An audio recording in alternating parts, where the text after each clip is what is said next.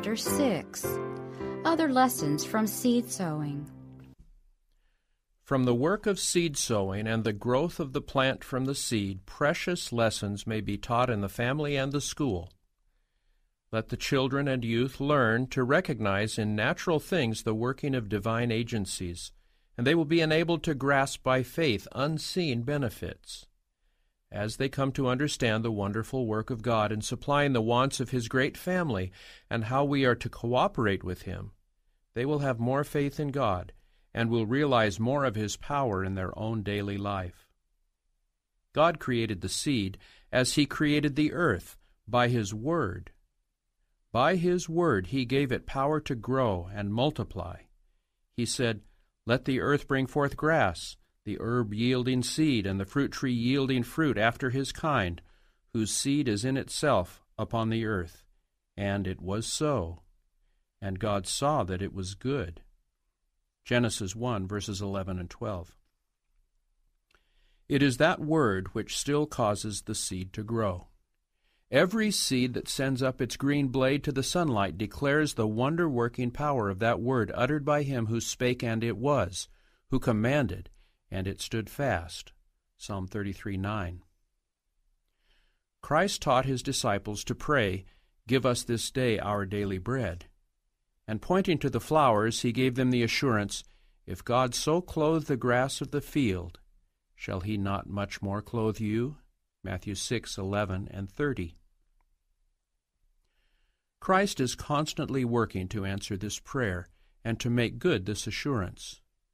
There is an invisible power constantly at work as man's servant to feed and to clothe him.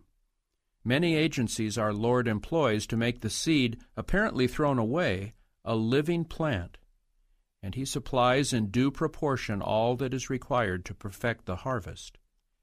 In the beautiful words of the psalmist, Thou visitest the earth and waterest it, thou greatly enrichest it. The river of God is full of water. Thou providest them corn when thou hast so prepared the earth. Thou waterest her furrows abundantly. Thou settlest the ridges thereof. Thou makest it soft with showers. Thou blessest the springing thereof. Thou crownest the year with thy goodness, and thy paths drop fatness. Psalm 65, verses 9 through 11, the Revised Version. The material world is under God's control. The laws of nature are obeyed by nature. Everything speaks and acts the will of the Creator. Cloud and sunshine, dew and rain, wind and storm, all are under the supervision of God and yield implicit obedience to His command. It is in obedience to the law of God that the spire of grain bursts through the ground, first the blade, then the ear, after that the full corn in the ear. Mark 4:28. These the Lord develops in their proper season because they do not resist his working. And can it be that man, made in the image of God, endowed with reason and speech, shall alone be unappreciative of his gifts and disobedient to his will? Shall rational beings alone cause confusion in our world? In everything that tends to the sustenance of man is seen the concurrence of divine and human effort. There can be no reaping unless the human hand acts its part in the sowing of the seed. But without the agencies which God provides in giving sunshine and showers, dew and clouds, there would be no increase.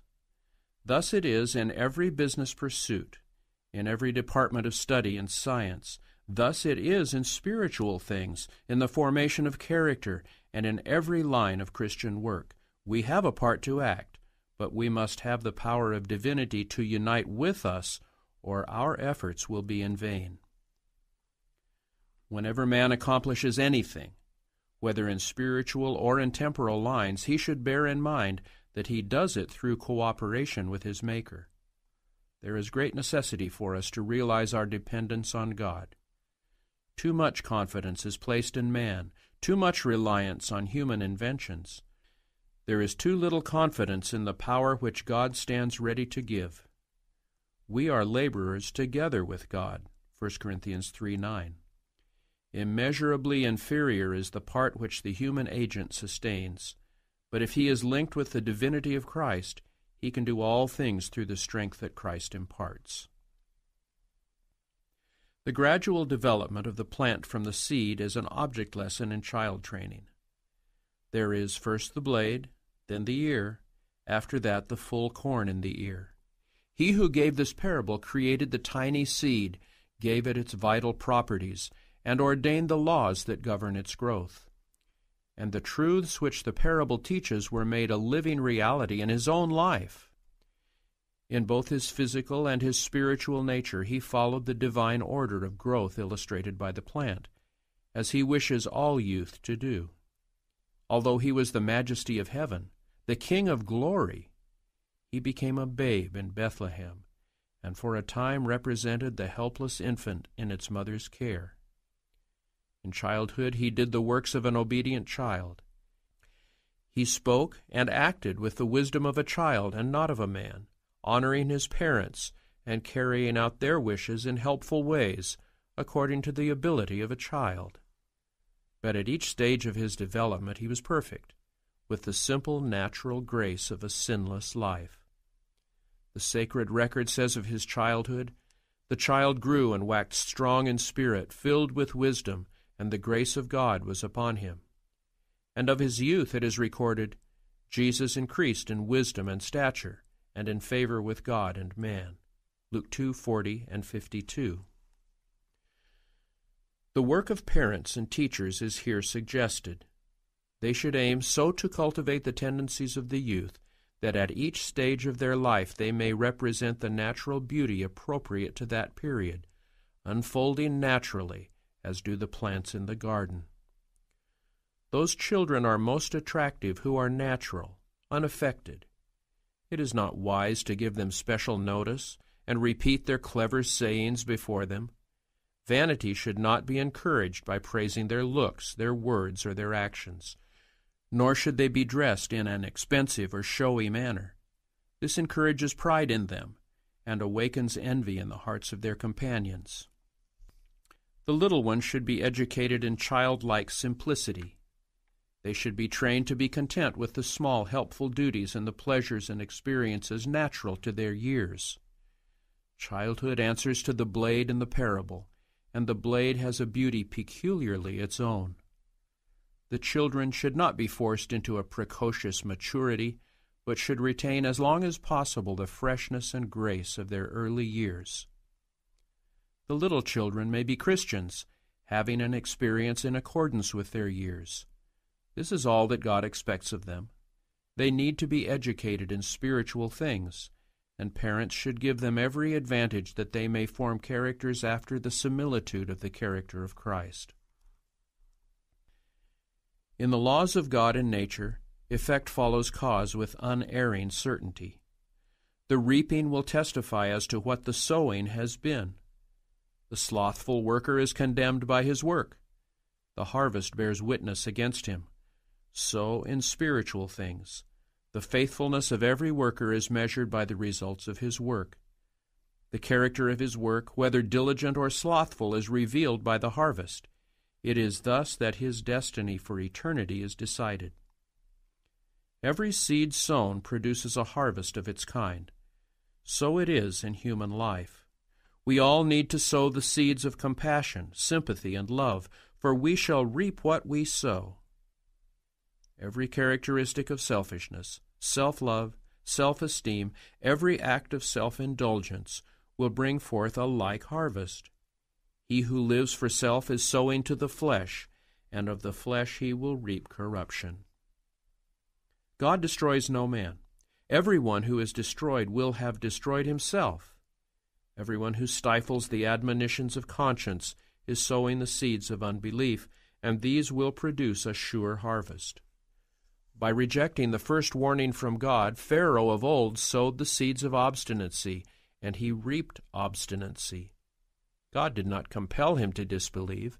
The seed of unbelief which he sowed produced a harvest of its kind. Thus his resistance continued until he looked upon his devastated land, upon the cold, dead form of his firstborn, and the firstborn of all in his house, and of all the families in his kingdom, until the waters of the sea closed over his horses and his chariots and his men of war. his history is a fearful illustration of the truth of the words that whatsoever a man soweth, that shall he also reap. Galatians 6, verse 7. Did men but realize this, they would be careful what seed they sow. As the seed sown produces a harvest, and this in turn is sown, the harvest is multiplied. In our relation to others, this law holds true. Every act, every word, is a seed that will bear fruit. Every deed of thoughtful kindness, of obedience, or of self denial will reproduce itself in others, and through them in still others.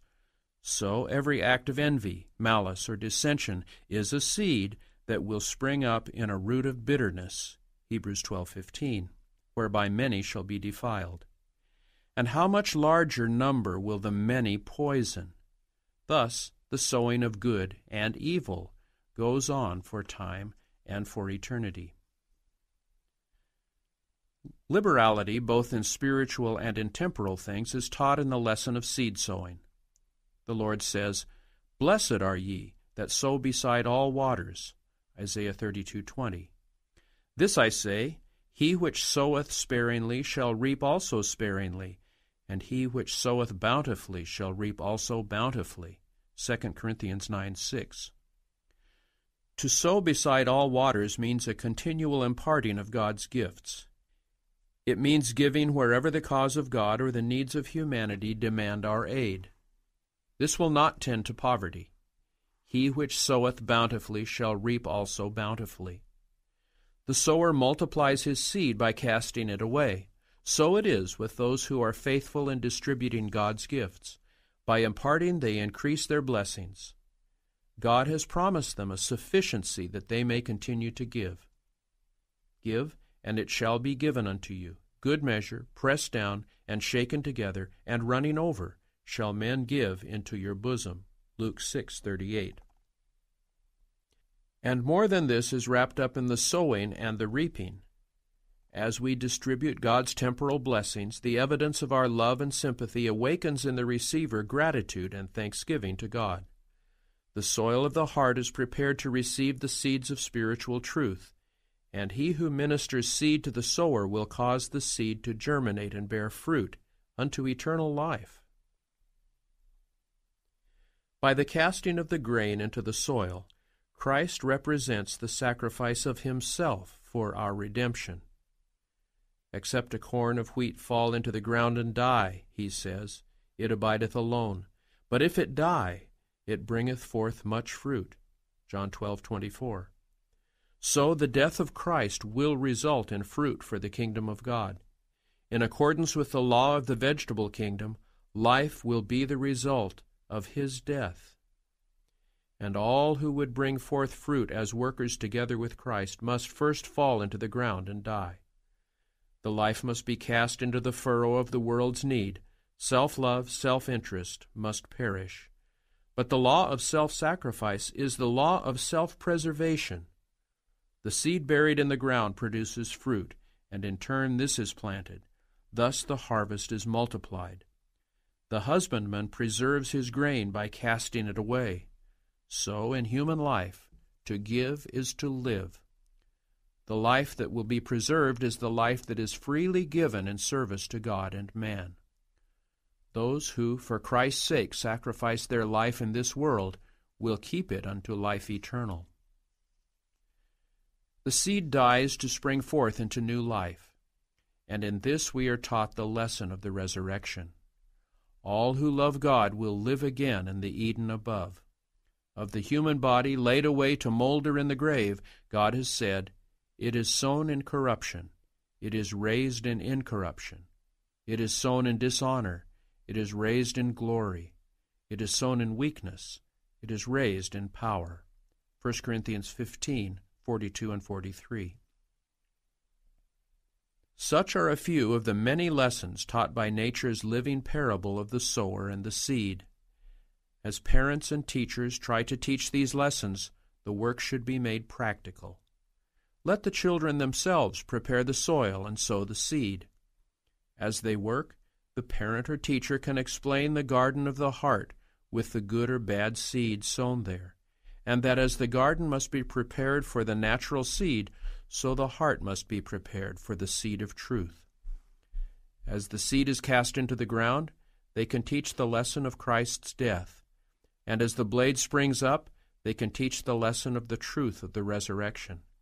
As the plants grow, the correspondence between the natural and the spiritual sowing may be continued. The youth should be instructed in a similar way. They should be taught to till the soil. It would be well if there were, connected with every school, lands for cultivation. Such lands should be regarded as God's own schoolroom. The things of nature should be looked upon as a lesson book which his children are to study, and from which they may obtain knowledge as to the culture of the soul. In tilling the soil, in disciplining and subduing the land, lessons may constantly be learned. No one would think of settling upon a raw piece of land expecting it at once to yield a harvest. Earnestness, diligence, and persevering labor are to be put forth in treating the soil preparatory to sowing the seed. So it is in the spiritual work in the human heart. Those who would be benefited by the tilling of the soil must go forth with the Word of God in their hearts. They will then find the fallow ground of the heart broken by the softening, subduing influence of the Holy Spirit. Unless hard work is bestowed on the soil, it will not yield a harvest. So with the soil of the heart. The Spirit of God must work upon it to refine and discipline it before it can bring forth fruit to the glory of God. The soil will not produce its riches when worked by impulse. It needs thoughtful daily attention. It must be plowed often and deep, with a view to keeping out the weeds that take nourishment from the good seed planted. Thus, those who plow and sow prepare for the harvest. None need stand in the field amid the sad wreck of their hopes. The blessing of the Lord will rest upon those who thus work the land learning spiritual lessons from nature. In cultivating the soil, the worker knows little what treasures will open up before him. While he is not to despise the instruction he may gather from minds that have had an experience, and from the information that intelligent men may impart, he should gather lessons for himself. This is a part of his training. The cultivation of the soil will prove an education to the soul. He who causes the seed to spring up, who tends it day and night, who gives it power to develop, is the author of our being, the King of heaven, and he exercises still greater care and interest in behalf of his children. While the human sower is planting the seed to sustain our earthly life, the divine sower will plant in the soul the seed that will bring forth fruit unto life everlasting.